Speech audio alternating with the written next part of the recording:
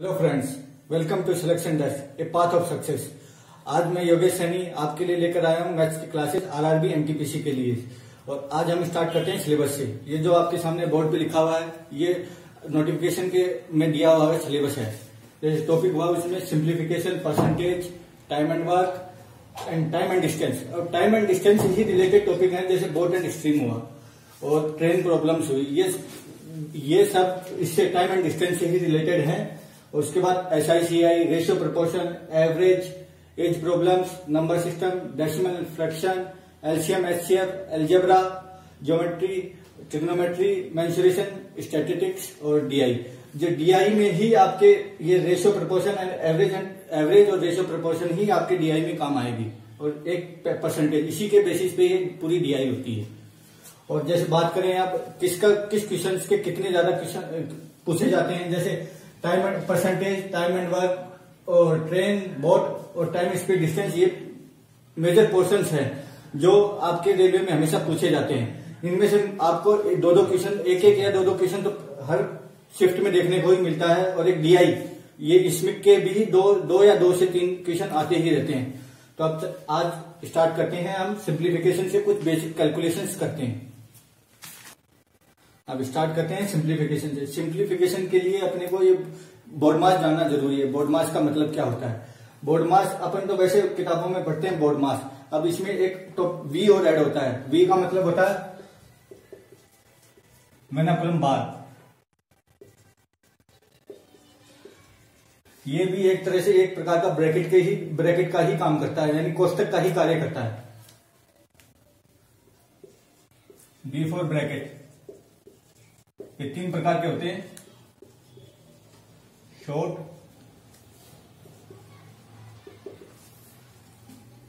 Middle और large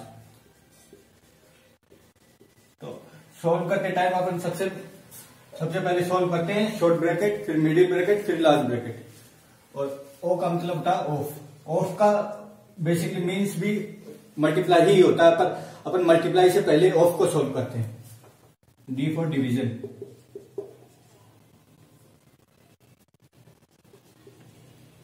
M से multiply और फिर एडिशन और सब्ट्रैक्शन में अपन कोई सा भी सोल्व को, कोई सा भी एक सोल्व कर सकते हैं दोनों में से। चाहे पहले एडिशन करो या पहले सब्ट्रैक्शन करो। अब इस बोर्ड बी बोर्ड मास से रिलेटेड अब कुछ क्वेश्चंस लेते हैं। अब ये आपके सामने क्वेश्चन है, जिसमें अपने पास दो चीज़ें हैं, एक तो डिवीज़न है, एक मल्टीप्लीकेशन है। पर अगर बोर्ड मास के अकॉर्डिंग देखें तो पहले अपन डिवीज़न सॉल्व करेंगे। और डिवीज़न को सॉल्व करने का तरीका होता है लेफ़्ट से राइट चलते हैं।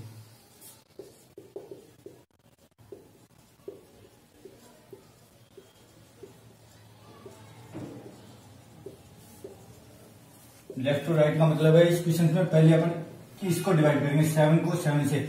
आंसर आ गया वन अब यहाँ वन बच गया। वन को फिर सेवन से डिवाइड करेंगे तो इस वाले एक्सप्रेशन का होगा वन बाय सेवन अब मल्टीप्लाई मल्टीप्लाई से पहले अपन ये डिवीज़न सोल्व करेंगे क्योंकि बोर्ड मार्च में पहले डिवीज़न सोल्व है। जैसे मैंने पहले बताया था लेफ़्ट से राइट पहले एट को एट से डिवाइड किया वन और वन को फिर एट से किया वन बाय एट तो इसका आंसर हो गया। अब मल्टीप्लीकेशन कर देंगे वन बाय फिफ्टी सिक्स इसका आंसर हो गया। अभी एक और क्वेश्चन पिछले वाले पैटर्न पे ही सेम है। जैसे पिछला क्वेश्चन था उसी के उसी हिसाब से सॉल्व करेंगे। पहले एट को एट से डिवाइड करेंगे इसका वन आएगा।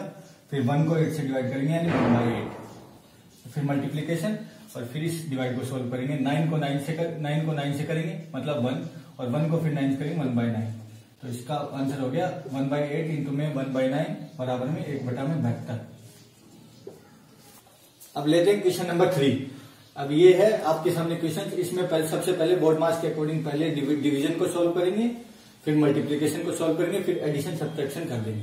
तो डिवीज़न को सॉल्व करते हैं fifteen divided by three five plus as it is और टू को टेन से इंटू करेंगे ट्वेंटी और माइनस सिक्स अब इसका हो गया, ये पहले एडिशन कर देते हैं, बीस और पाँच, पच्चीस. पच्चीस माइनस छ उन्नीस.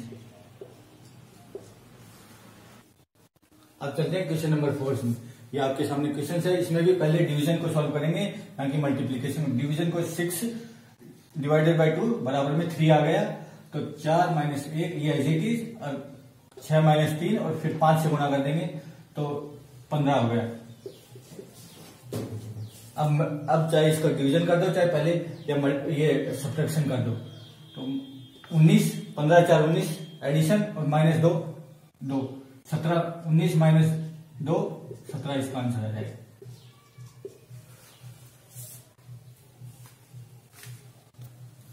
अब चलते हैं क्वेश्चन नंबर फाइव में ये आपके सामने क्वेश्चन है, जिसमें वैसे ही करेंगे डिवीज़न पहले लेफ़्ट टू राइट चलेंगे। तो जैसे सेवन डिवाइडेड बाय थ्री अब ये इसके डिवाइड में है तो ये सारे नीचे इंटू में चले जाएँगे। अब इसको काट देंगे, सात को चौदह से काटेंगे, दो। अब इसका मल्टीप्लीकेशन कर देंगे छत्तीस अठारह अठारह चौ बहत्तर बहत्तर दूनी एक सौ चौवालीस तो इसका आंसर आ गया one by one forty four अब एक क्वेश्चन लेते हैं, जो मैंने आपको बताया था बार से रिलेटेड वेनाकुलम बार अब ये है इस क्वेश्चन में बार तो बार जैसे मैंने सबसे कहा था, सबसे पहले अपन बार को सॉल्व करते हैं। बार के एक तरह से ब्रैकेट ही है। तो ब्रैकेट में मतलब ये बार को सॉल्व करेंगे तो छह माइनस चार। इसमें जो बाहर माइनस दिया हुआ है, ये अपने को नहीं देखना। पहले इसको अपन एक तरह से ब्रैकेट ही मानेंगे। तो सिक्स माइनस का फोर इसमें आ जाएगा टू। तो ये आगे क्वेश्चन बनेगा।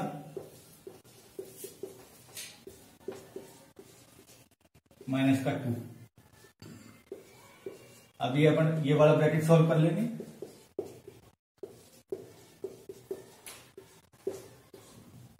सेवन माइनस का टू, फाइव।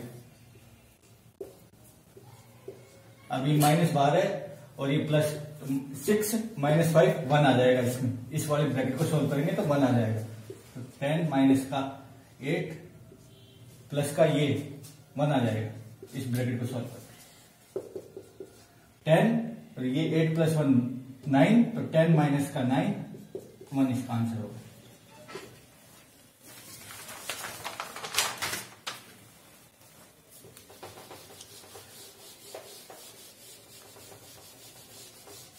लेवल के क्वेश्चन लेते हैं। जैसे ये क्वेश्चन लिखा हुआ है आपके सामने। इसमें जैसे मैंने आपको पहले बताया था, पहले हम बार को सॉल्व करेंगे। जैसे बार एक तरह से ब्रैकेट ही है तो ब्रैकेट मतलब इसको सॉल्व करेंगे। Ten ten minus four six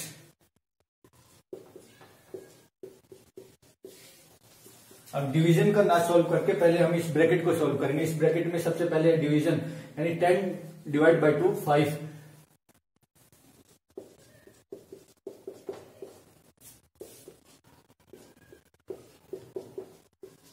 अब ये ब्रैकेट को सोल्व करेंगे फाइव और नौ नौ में से गया, आठ आठ आ गया तो आठ इसके डिवीज़न में आ जाएगा। यानी आठ को बत्तीस को आठ से काट देंगे, चार। अब यहाँ ये डिवीज़न ये प्लस है, ये यहाँ मल्टीप्ली डिवीज़न कर ही दिया, अब ये डिवीज़न को सोल्व करेंगे एटीन को सिक्स से डिवाइड करेंगे तो थ्री थ्री प्लस ये फोर है तो इसका आंसर हो गया सेवन अब अगला क्वेश्चन लेते हैं।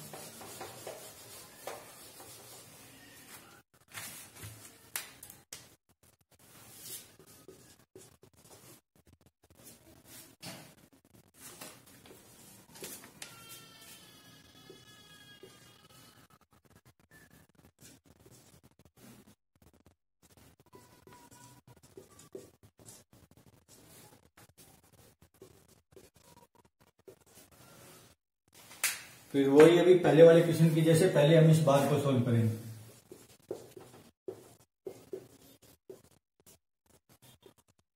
सिक्स यानी eight minus five three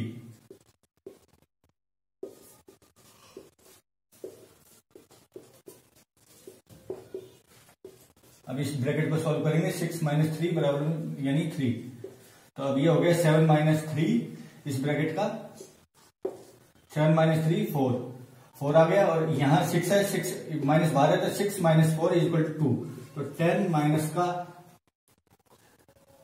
two eight इसका आंसर हो गया.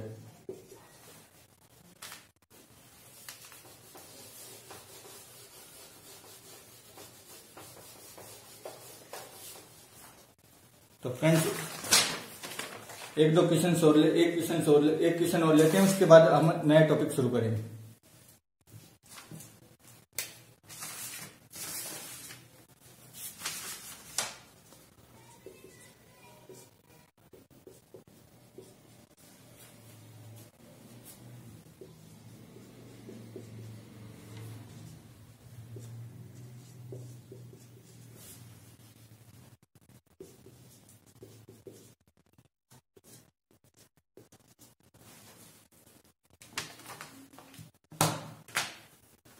अब इसको सोल्व करते हैं। सबसे पहले इस बार को सोल्व करेंगे। फाइव प्लस सेवन ट्वेल्व हो गए। और ये nine plus six fifteen fifteen minus twelve तो इस ब्रैकेट का पूरा सॉल्यूशन आएगा थ्री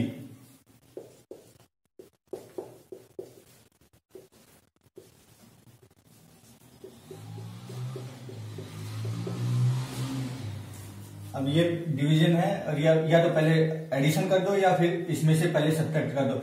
यानी बारह पाँच सत्ताईस सत्ताईस माइनस का तीन, चौबीस। अब इस ब्रैकेट को, ब्रैकेट का आएगा सॉल्यूशन चौबीस, ट्वेंटी फोर। तो ये हो गया आठ। तो फिफ्टी ये बच जाएगा fifty six divided by eight. तो fifty six divided by eight बराबर में सात। सात इसका आंसर होगा तो ये थे कुछ बेसिक क्वेश्चन सिंप्लीफिकेशन के बारे में। अब इनमें क्या है? आप जितना, मैंने आपको तरीका बता दिया, आप जितनी ज़्यादा प्रैक्टिस करोगे, उतना ही आपके अच्छा होगा। अब नया टॉपिक स्टार्ट करते हैं आज। परसेंटेज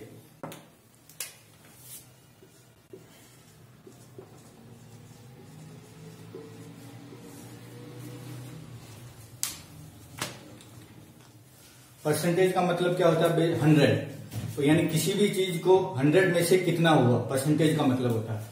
तो परसेंटेज के लिए अपने को बेसिक्स आने चाहिए। सबसे पहले आना चाहिए, अगर फास्ट कैलकुलेशन करनी है तो परसेंटेज टू डेसिमल कन्वर्जन यानी परसेंटेज टू फ्रैक्शन कन्वर्जन जैसे वन बराबर क्या होता है? Hundred percent one by two fifty percent one by three यानी इसको निकालने का तरीका होता है वन बाई थ्री इंटू में थ्री इंटू में हंड्रेड तो इक्वल टू हो गया thirty three, one by three. ये इसकी फ्रैक्शन वैल्यूज़ हो गई। वन बाय फोर इंटू में hundred equal to twenty five percent यानी वन बाय फोर की फ्रैक्शन वैल्यू क्या है? Twenty five percent one by four की फ्रैक्शन वैल्यू क्या है? ट्वेंटी फाइव परसेंट ऐसे ही वन बाय फाइव की twenty percent. One by six की 16.66 परसेंट या फिर 16 टू बाई थ्री और one by seven fourteen two by three one by eight twelve point five percent और one by nine eleven point one one percent one by ten ten percent ऐसे ही one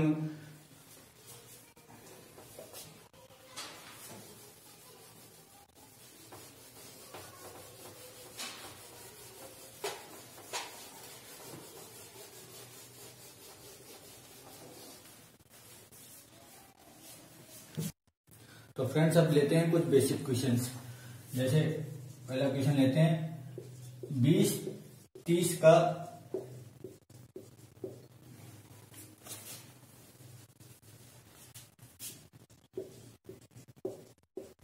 कितना प्रतिशत है?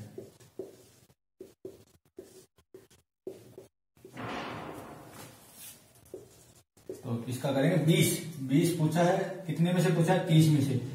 और प्रतिशत मतलब सौ। तो बराबर में इसको डिवाइड कर देंगे 200 बटे में तीन।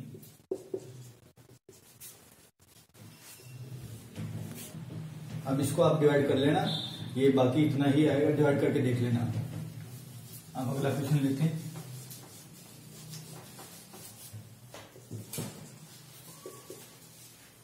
अगला क्वेश्चन लेते हैं 800 का 40 परसेंट। कितना होता है? तो 40 परसेंट मतलब 40 बटे में 100 गुना में 800 दो ज़ीरो से, दो ज़ीरो चली गई। आठ सौ बत्तीस यानी 320 होता है 800 का 40 परसेंट।